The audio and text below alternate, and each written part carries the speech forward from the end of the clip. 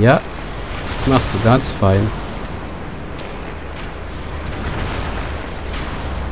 So, gut. Bist fast schon tot.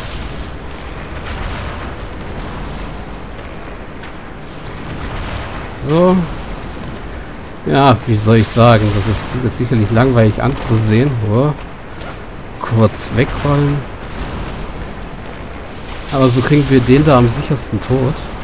Ohne dass er uns einfach so wegbolzt.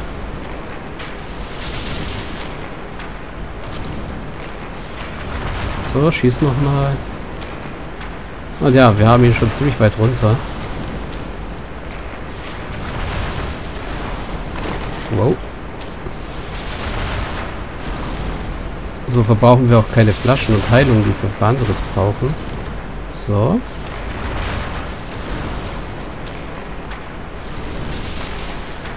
Später können wir die Titanit-Dämonen übrigens mit Zaubern besser weghauen. Also wenn man bestimmte Wunder hat oder wenn man ein Magier ist, dann haut man die eigentlich weg wie nichts Gutes, die Titanit-Dämonen. So, aber noch einen Schuss müsste es brauchen. So. Genau. Ähm, wechsel du zurück zum Claymore. Und du aufs Schild. So. Erstmal lässt er wieder Dämon-Titanit für uns da. Das macht jeder Titanit-Dämon übrigens. Und wir kriegen Auge des Todes. Das ist, wie gesagt, ein Multiplayer-Item. Lockt Phantome aus anderen Welten an. Wer den einen Eid geleistet hat, kann das Objekt benutzen. Hüllen nicht. Die grässlichen Augen des Todes verbreiten Unheil in benachbarten Welten. Welten. Werden Phantome in eine Welt gelockt, können sie dort zum Opfer werden und den dem Auge des Todes zu weiterem Wachstum verhelfen. So breitet sich das Verderben weiter aus. Also ja, das ist, glaube ich, die, der gemeinste Eid, den es in dem Spiel gibt. Und zwar verseucht man die Welt eines anderen Spielers mit so einem Auge. In dieser Welt spawnen dann starke Gegner als äh, schwarze Phantome. Also zum Beispiel Benarik, ein zweiter Benarike-Ritter der Kirche, was ich so gehört habe. Und äh, um das wegzumachen, muss man äh, in die Welt des äh, Verseuchers eindringen und ihn besiegen. Also man wird dazu praktisch dazu genötigt, selber ähm, zu invasieren. Was ganz schön gemein sein kann. Na komm her, du. Deswegen bin ich froh, dass es keinen Multiplayer gibt. Äh, dass ich keinen Multiplayer ähm, benutze. Na komm runter. Das bin ich dir schon vor, äh, vorausgegangen. Hier ist übrigens eine sehr gemeine Stelle. Wie man sehen kann, sehen hier an zwei Stellen die an zwei Stellen sieht hier der Boden komisch aus. Dort kann man durchbrechen. Dort will ich aber nicht durchbrechen. Ich will einfach hier runter. Und hier die Nekromanten ausschalten. Ah, versuchen wir es per Bogen.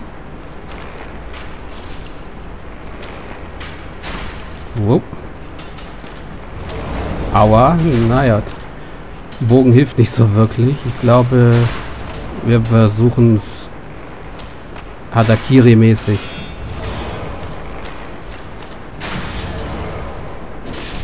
So. Du noch weg. Diese Stelle ist nämlich sehr gemein. Hier. Uah. Erstmal ist hier ein Skelett, was vorhin runtergefallen ist. Und da ist das zweite Skelett. So, sterbt einfach bitte. Achso, ihr lauft weg, weil ihr gar nicht hierher gehört. Ja, das ist die kluge KI. Die wollen nämlich einfach zurück an ihren Spawnpunkt. Hier kann die Stelle nämlich gemein sein. Warum werde ich euch gleich verraten. Erst einmal müssen die Jungs hier weg. Das hier sind nämlich Höllenräder auf Doom. Au. Na, man sieht, sie sind nicht auf die leichte Schulter zu nehmen. Au. In ihrer Roll mit ihrer Rollattacke machen sie nämlich verdammt viel Schaden. Und sie droppen Zeug. Knochenradschild, genau. wir benutzen sie nämlich jetzt als Schild. Und kriegen gleich zwei Stück davon. So. Ja, genau, du kannst explodieren. Ja, da hinten weitere Knochenradschilder angerannt kommen. Komm, Pus. Uah. So wollte ich das eigentlich gar nicht. Wollte ja eigentlich ausweichen, aber der Gang ist blöderweise etwas zu eng. So, wo ist das nächste? Da hinten. So. Der Schädel da scheint sich nicht besonders angesprochen zu fühlen. Hier gibt es nämlich einen kleinen Glitch. Mal sehen. Ja, genau. Die Knochenradschädel können an dieser Ecke nämlich durch die Wand glitschen. Dann fallen sie ins Nirvana und sterben dann irgendwann. Ja. So, ich will doch die Knochenradschilder da hinten anlocken. Ah, einen habe ich. Versuchen wir gleich zwei anzulocken. Ja gut, zwei Stück angelockt. Das sind noch insgesamt drei Stück da hinten. Und theoretisch können wir sie auch einfach wegstechen, wenn sie auf uns zugerollt kommen. So, jetzt sollten wir uns schnell umdrehen, weil jetzt kommt gleich der andere. Der da wieder durch die Mauer glitscht. Ja, der eine müsste bereits gestorben sein da unten. Ich mache das absichtlich so mit den Knochenrädern. Aus einem ganz einfachen Grund, nämlich der lauert da oben. So, genau so kann man die nämlich auch noch wegstechen. So, wenn wir hier jetzt nämlich einfach eigentlich in diese Höhle gehen würden, würde uns ein gewisser Herr da oben bemerken. Genau. Dann hätten wir den da im Rücken. Spack hier nicht rum. Komm runter. Hätten wir den da nämlich im Rücken. Wow. Hätten wir den da im Rücken und gleichzeitig die Höllenräder vor uns. Auch wenn er jetzt ziemlich leicht erscheint, weil wir viel Platz zum Tänzen haben. Und ja mit der Axt wirklich nicht gerade der mächtigste ist. Außer er trifft uns mal. So wie gerade eben. So, wir kriegen einen weißen Brocken von ihm. Und ich würde gerne jetzt, da der letzte Nekromant tot ist, wieder auf mein Bastardschwert wechseln. So. Diese Sache ist erledigt. Das nächste, was ich tun will, ist jetzt erstmal zurück. Weil ich habe ja gesagt, da gibt es eine Stelle, wo man durch den Boden bricht und dann landet man oben auf der Plattform, wo der Ritter sich äh, rumwuselt. Genau, wenn wir hier durchbrechen, egal durch welches Loch, Autsch, landen wir hier in dieser, in dieser Gruft. Jupp. Seele des Kriegers sammeln wir ein und dann können wir hier den Weg, den der schwarze Ritter genommen hat, auch runternehmen. So, als nächstes wollen wir auf das, auf, an das leuchtende Zeug da oben. Deswegen machen wir uns jetzt auf den Weg zurück. Ich wollte nämlich erst die Höllenräder, den Nekromanten und den Ritter ausschalten, bevor ich mich an, auf die Sachen stürze. Weil sonst steht man echt in der Kacker. Und zwar wirklich. Ist von Höllenrädern, einem schwarzen Ritter und einem Nekromanten mit zwei Bogenschützen umkreist. Und ich weiß nicht mal, ob die Höllenräder wieder aufstehen, solange der Nekromant noch lebt. So, wir können nämlich jetzt von hier aus äh, wieder noch ein Stück zurück. Lass mal kurz heilen. Und dann hoffe ich mal, dass das mit meinen Lebenspunkten auch so hinhaut. Sind nämlich nicht gerade viele. Können wir hier runterhüpfen. Und man sieht schon, da ist ein Rufzeichen. So, runter. Und es hat gereicht. Sehr gut. Heilen die Seele auf, äh, die, ja doch, es ist eine Seele. Und Paladin Leroy rufen. Ja, das hier ist Leroy Jenkins. Also er ist, ange äh, äh, er ist angelehnt an den Paladin Leroy Jenkins aus WoW, wer den kennt. Da gibt es ein ganz berühmtes Video dazu. Und ja, ich spiele selber eigentlich kein WoW, aber ich kenne das Video. Und Paladin Leroy, äh, naja, WO, die WoW-Macher, also Blizzard, haben Leroy sogar ähm, extra einen, ein Achievement gewidmet. Ja, so war's. Im WoW gibt es extra ein Achievement, was äh, Leroy Jenkins heißt. Und das ist halt an unserem Paladin Leroy hier angelehnt. So, gut. Wir haben ein Phantom dabei. Also ein weißes Phantom für Koop. Und wir haben einen Nebelpfand vor uns. Das heißt, es ist wieder Boss-Time. Also heilen wir uns vorher noch mal voll.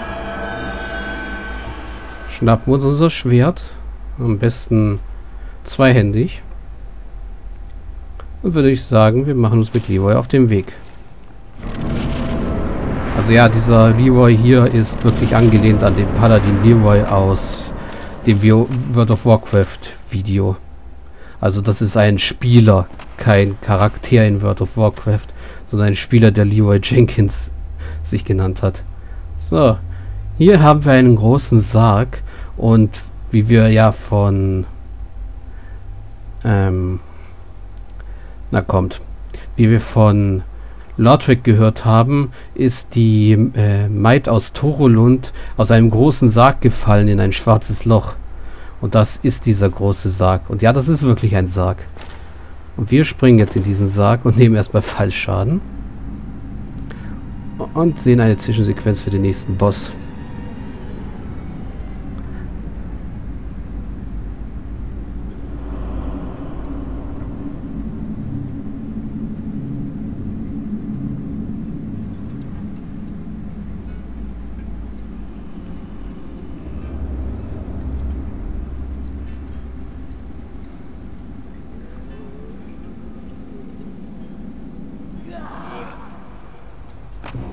Ja, das Feuerrad, in Englisch Pinwheel genannt. Der wahrscheinlich creepigste Boss im Spiel. Aber auch der leichteste. Wow. Da will ich gerade einen von seinen Feuerdingern abkriegen. Und ja, er klont sich einfach mal so. Wow. Und der ist schon tot. Ja, das war Pinwheel. Der einfachste Boss im Spiel, auch wenn er der creepigste ist. Und er hat uns die Kunst des Entfachens da gelassen. Durch die Kunst des Entfachens kannst du Leuchtfeuerstärke entfachen. Das ist der Hauptgrund, warum wir hier runtergekommen sind übrigens. Heimkehrknochen und Menschlichkeit. Jo.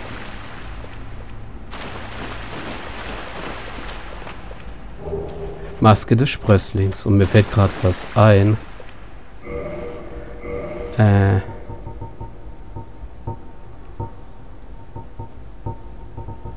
Nein, da muss ich wirklich mal, mal gucken.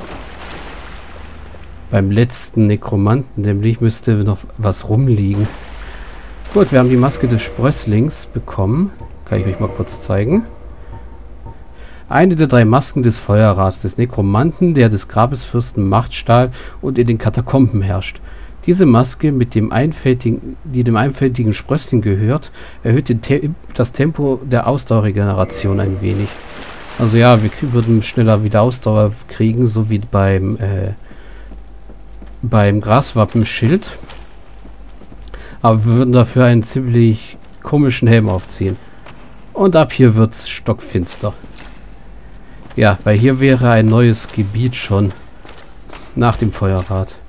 Pass auf, Schleichweg. Ja, den wollen wir nehmen. Wir wollen nämlich nicht in das nächste Gebiet. Das wird nämlich eine Überraschung, was das ist. Wir können theoretisch hier noch entlang laufen und uns umgucken, aber hier ist eigentlich nichts. Wir müssen nur zurück. Diesem Weg hier folgen.